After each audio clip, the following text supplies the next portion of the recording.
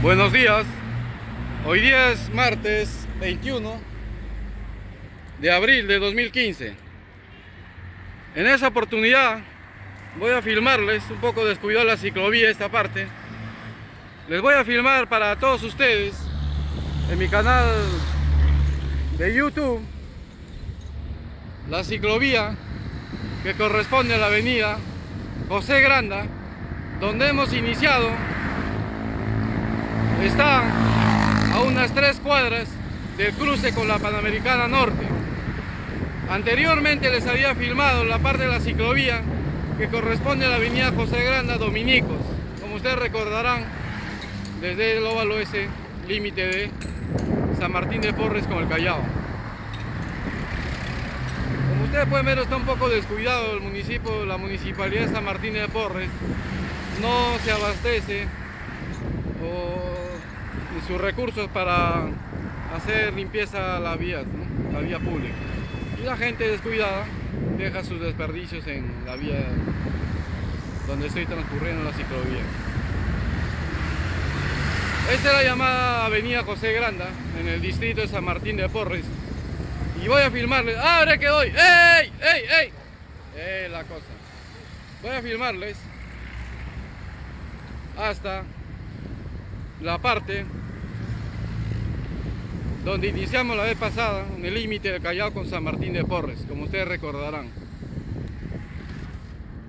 Me estoy regresando a mi trabajo, como ya es clásico, ustedes ya saben en mí, me voy en bicicleta a mi trabajo todos los días, seis días a la semana, hago una hora 35 de ida y una hora 20 de regreso.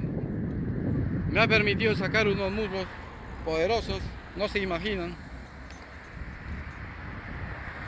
Yo les recomiendo, no solo para ponerles vuelta las piernas, los la parte de los muslos y piernas, sino para adquirir un buen ritmo en, en, lo sexual. Esto eh, imprime un ritmo, una resistencia en lo sexual y no solo en el nivel cardíaco, sino en el nivel de la fortaleza de las piernas. Ustedes ya se imaginarán. Estoy acá pasando, esta parte es un poco, es un poco crítica. Es el cruce con la avenida República de Chile, Tupac Amaru por acá. Voy a tener paciencia para no ponerme en riesgo. Acabo de voltear un carro. Entonces sigo mi camino.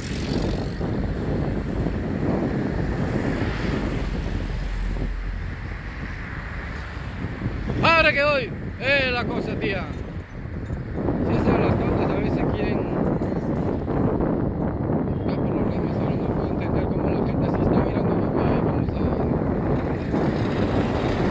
la de atención la alcaldía de San Martín de Porres por el descuido.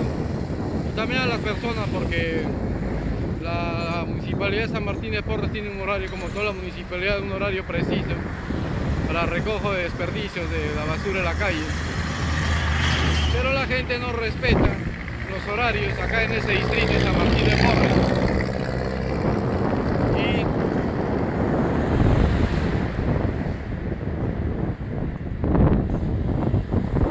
y bota sus desperdicios en cualquier lugar, siempre en la ciclovía porque a, la vereda, allá a los costados, no les conviene. Ya me estoy acercando al cruce con la avenida universitaria. Este es un bonito tramo. Parece una autopista para bicicletas. es la cosa. Es la cosa. Me deslizo suavemente, muy elegantemente.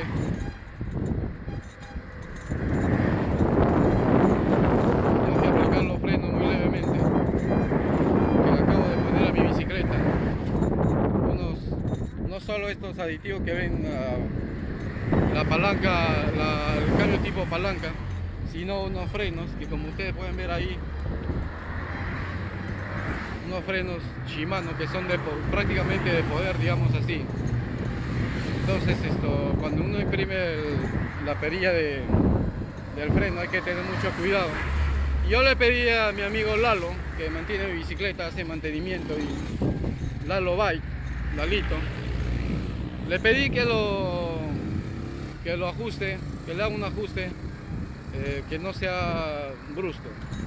Porque como yo voy a veces a toda velocidad, me excedo a veces de los límites, a veces siempre es imprudente, valga redundar, y cuando se imprime el freno no debe estar muy asegurado, porque la bicicleta con freno Shimano se planta en seco como freno de poder de carro y puede haber un percance serio. Me permitió ponerle estos mangos rojos también muy bonitos. Unos mangos rojos. Que hace juego. Voy a frenar con esta que hice ahí. Retador, la bandera peruana. es un decir, Ah, señor de la municipalidad, haciendo mantenimiento al jardín. Hay un amigo can.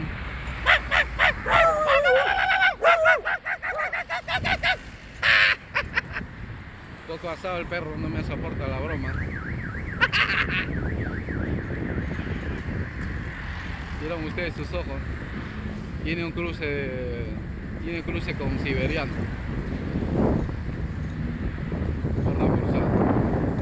Ustedes pueden, ah, ustedes pueden ver al fondo. Esa es la avenida universitaria y es donde estoy transcurriendo la avenida José Granda. Ya 6 minutos 54 segundos de esta grabación.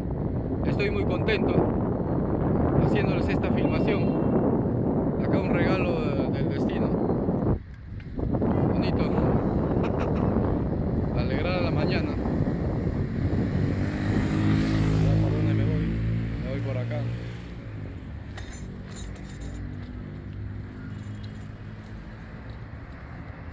Retomo. Voy a aprovechar que está. ¡Abre que voy! Que está en un roja.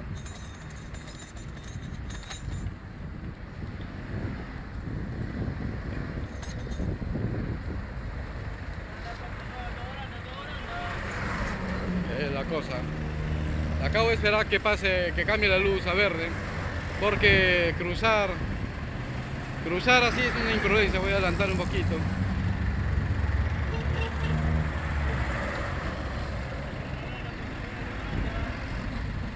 Ustedes ven mi cartuchera del set, de, una cartuchera donde tengo el set para parchar la llanta en caso tuve alcance. Luz verde y cruzo. Es la cosa.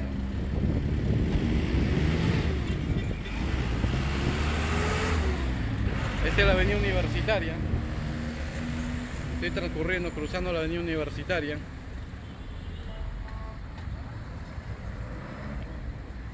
Y acá me voy a detener. Y no recunté con la niña. Me voy a detener para esperar que, cambie la luz y pueda cruzar. Allá ustedes pueden ver la continuación de la avenida José Granda, esto es la ciclovía, es hasta, hasta el Callao donde vamos a llegar, donde empecé a filmarles allá en el óvalo y ahí me voy a detener la filmación. Me parece muy agradable esta mañana y espero y, y filmarles para todos ustedes esta, estas secuencias en la calle. Para mí es un recuerdo, será un recuerdo muy grato, porque yo pienso emigrar al extranjero eh, alguna vez, eh, no, en, en, muchos años más, depende de lo me vaya, porque también tengo planes de retomar la universidad, si eso ocurre voy a suspenderlo todo, pero me gustaría de todas maneras darme un paseo por otros lados de, del Perú, y por qué no los países cercanos como Ecuador, Colombia y Venezuela. Y también me gustaría ir a, a Panamá por la selva del Darién para poderle filmar. Entonces para mí estas, estas filmaciones que les entrego no solo representan una, un divertimento para, para ustedes, para que la pasen entretenido, sino para mí, para mí, se convierte en un grato recuerdo, un testimonio de lo que he pasado, lo que de lo que he vivido acá en Lima, Perú. Abre que voy. Entonces seguimos en la avenida José Granda.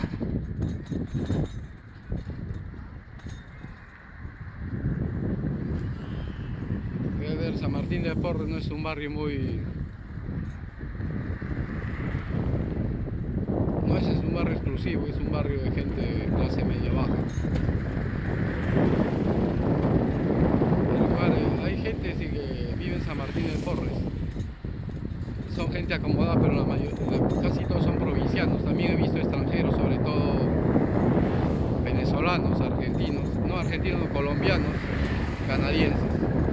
Justamente, amigo de nosotros que vive en San Martín de Porres es un sacerdote estadounidense conocemos de, la familia hace de los años 70. ¡Abre que voy!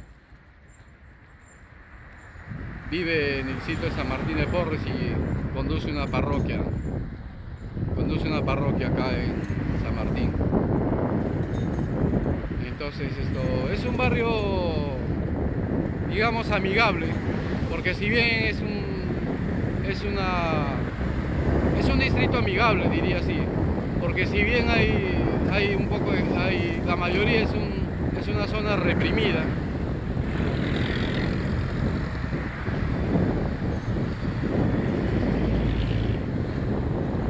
no representa mucho peligro en cuanto a violencia de robos como en otras partes del Lima acá el asunto está controlado. Y yo les digo porque acá hay más extranjeros de lo que yo pienso, porque yo he visto a algunos extranjeros, sobre todo en los años 90, europeos y canadienses viviendo allá, acá, justamente allá por donde vivo, para el lado más al norte, y con límites a los olivos. Pero eso no representa la violencia que se vive en otros distritos. lo más fuerte que ha habido acá en San Martín de Porres han sido, han sido pandilleros, asesinos y ya poco a poco han retrocedido. Hay mucho control policial, eh, no en presencia, sino en servicios secretos, así les dio. Porque San Martín de Porres fue en su origen creado en los años 50 como un barrio militar, interés del ejército peruano y sus facciones ancestrales que defendían el imperio Tahuantinsuyo. Como ustedes podrán deducir de, esa, de esas premisas y con lo que se verifica, San Martín de Porres es un barrio, en su mayoría, poblado por provincianos de la Sierra del Perú. ¡Abre que voy! ¡Abre que voy! ¡Eh la cosa! ¡Eh la cosa! ¡Eh la cosa! Entonces yo estoy muy contento de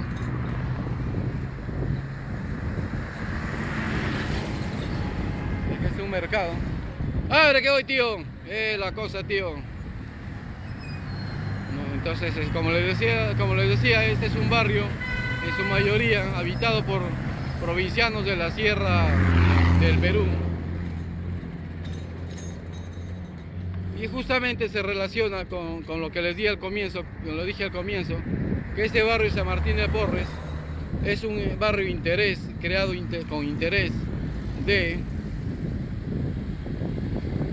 hacer un núcleo de conciencia, de, gente en pro, en despertar el pro, patriótico, pero desde el punto de vista desde el punto de vista del servicio secreto. Ustedes pueden ver acá cualquier persona, como ese señor, ese señor, esa señora, una persona que no parezca militar, esa señora que estaba riendo allá, cualquier persona, o incluso quien les habla, Usted puede deducir muchas cosas de la persona que ven, pero aparentemente estos son gente común y corriente, sin embargo, son agentes del servicio secreto del ultraestado peruano. Porque ustedes saben que el, Perú se convirtió en ultraestado peruano con los intereses de, las facciones ancestrales que defendían la, continuación del imperio Tahuantinsuyo en su segunda era de luz. Entonces acá con San Martín de Porres, por, con, que ustedes no lo crean, el que se mete a San Martín de Porres es como es prácticamente como dice fichado, porque es fotografiado, es filmado, es grabado. Acá en San Martín hay sensores de todo tipo y ha participado eh, los, servicios secretos y intereses, no solo dinero, sino intereses, eh, dinero para tecnologías de, de vigilancia incluso espectral, sino intereses de Estados Unidos de América. intereses, como le digo, de Estados Unidos de América. Una demostración de esto es este poste, este poste de que, que conduce cable de energía eléctrica. Esta es una red que va hasta Los Olivos por la avenida Universitaria, esta es la avenida 12 eh, de octubre. Esos postes los ha puesto, son de fabricación industrial peruano-estadounidense. Poste. Cuidado tío, pues carajo. Ustedes si se acercan, porque esta es la avenida 12 de octubre, esta es la avenida 12 de octubre, cruce con José Granda. Si ustedes pueden verificar y se acercan un día por acá, van a notar la calidad de esa industria, la calidad diferente. Incluso el matiz del material, el color se ve totalmente diferente y de inmediato alude a una industria estadounidense. Como les digo, acá en San Martín de Porres es un barrio militar que en sus inicios también fue interés de Estados Unidos de América. Y una de las demostraciones que dejó palpablemente la ingeniería estadounidense fue el diseño y la construcción de la avenida Tomás Valle, que va desde la Panamericana Norte hasta el Aeropuerto Internacional Jorge Chávez. Esa avenida Tomás Valle fue diseñada por arquitectos e ingenieros estadounidenses y si ustedes transcurren por la, por la avenida Tomás Valle, como les digo, desde el cruce con Fiore en Panamericana Norte hasta el cruce con Tomás Valle y Angélica Amarra, van a poder notar esto, el diseño, el ancho de las pistas, el ancho de cada carril, el ancho de la berma central. Está, está sentada ahí firmada, firmada la obra estadounidense en esa avenida Tomás Valle. Abre que voy, abre que voy, es la cosa. Entonces, esto es muy agradable para mí transitar por la avenida Tomás Valle, sobre todo cuando me voy a, Lima Plaza, al centro comercial Lima Plaza Norte desde mi casa. Voy por la ciclovía de la avenida Tomás Valle, aunque está un poco sucia, pero esto facilita mucho el tránsito. Acá un amigo acá, haciendo la suya con rico menú, con rico desayuno menú marino. Y hablando de menú marino, acá podemos ver apreciar una belleza. Abre que voy, abre que voy, es la cosa. Vamos a una belleza marina. Diosas del mar. Entonces estamos llegando acá al final de esta filmación. Esta es la ciclovía de la avenida José Granda y recordarán ustedes que anteriormente les he filmado desde ese punto donde dice Municipalidad del Callao, bienvenidos. A partir de ese óvalo empieza la provincia constitucional del Callao y acá en esta esquina, cruce con esta avenida, termina el distrito de San Martín de Porres. Voy a cruzar, acá esta bajada es un poco complicada y como ustedes pueden leer ahí, ahí empieza avenida Los Dominicos. La avenida José Granda termina ahí y la prolongación debería llamarse también José Granda, como hace años era así. Pero uh, se le cambió el nombre y se le pone la continuación Avenida Los Dominicos. Entonces, voy a detener la grabación. Y espero que les haya hecho agrado esta filmación. Y me despido. Hasta otra ocasión. Les habló César Ignacio Quiroz Cáriga, acá, desde Lima, Perú, con ese, fondo en la banca. Entonces, me despido hasta otra oportunidad, gracias, espero que les haya gustado, hasta luego. Ahí yo compraba mi, gasol mi aceite dos tiempos cuando iba con mi bicimoto.